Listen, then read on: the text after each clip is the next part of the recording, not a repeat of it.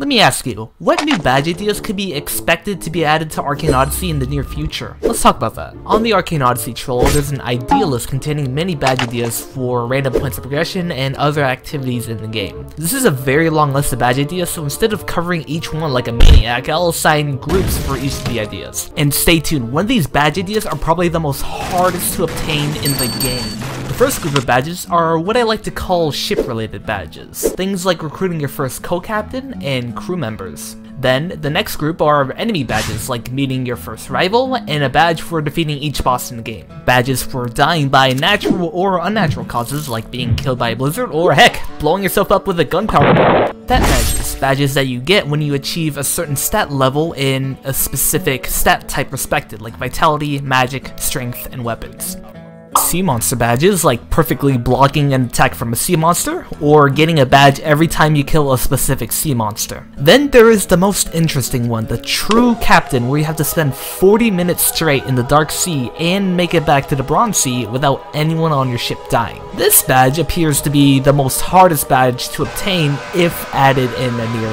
future. Overall, these badge ideas sound pretty cool and give players more things to accomplish in the game.